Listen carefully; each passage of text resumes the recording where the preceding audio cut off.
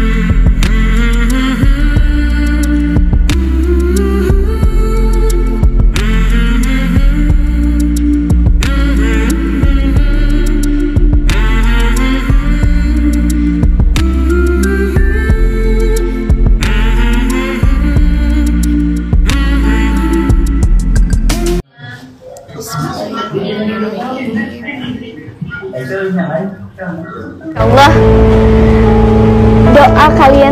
dikabul dan doa dede juga dikabul sehingga Assalamualaikum saya Lesti. Untuk teman-teman semuanya jangan lupa like, comment, and subscribe.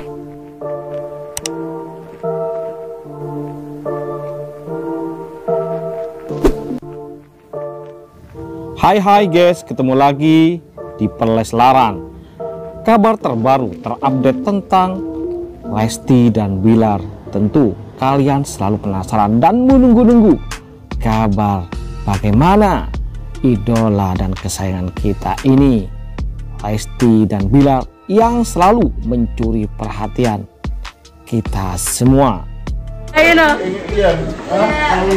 Ada saksi nih. Ya bang ya. Hari demi hari hubungan Lesti dan Bilar semakin intens dan menunjukkan tanda-tanda bahwa mereka semakin serius menjalaninya.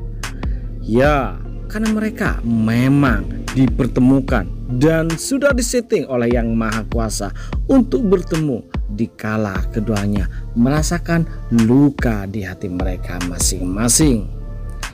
Ada yang menarik di hari ini ketika Lesti Kejora telah meluncing launching brand terbaru miliknya.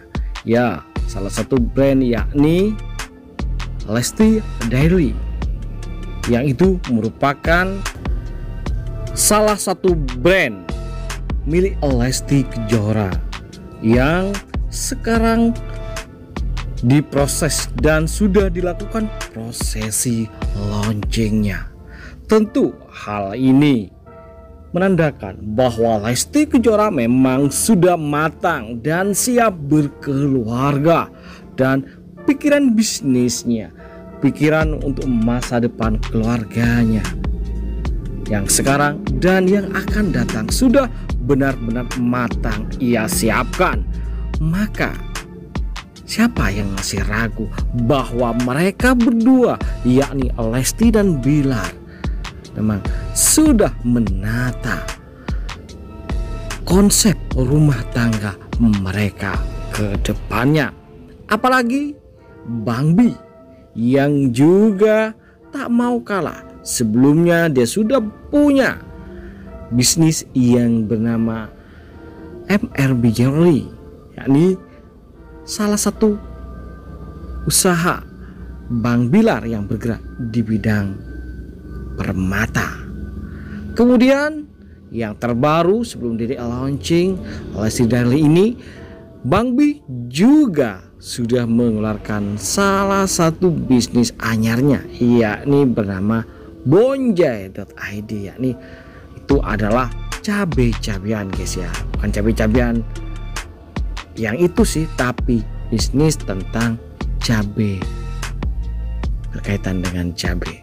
Dan punya Dede Lesti yang baru diluncurkan ini adalah juga sebuah tanda bahwa mereka memang sudah tertata menata masa depan mereka dengan keluarga dan mereka berdua.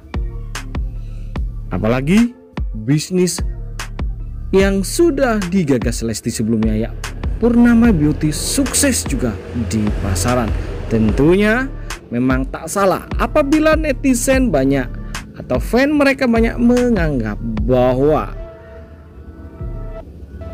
Lesti dan Bilar ini adalah sosok yang akan menjadi next Nagita Slavina dan Raffi Ahmad.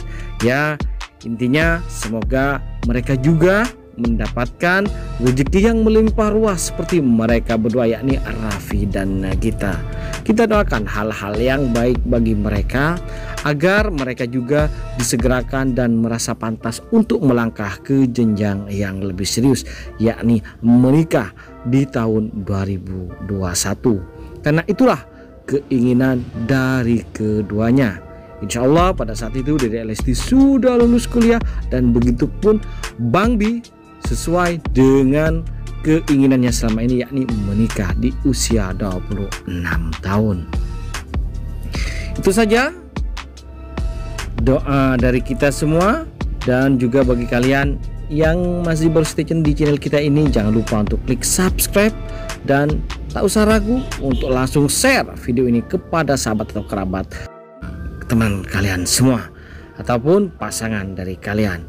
Agar kegemuyan dan kawan tak hanya kalian saja yang rasakan tetapi kita semua bisa sama-sama merasakan kegemuyan ini.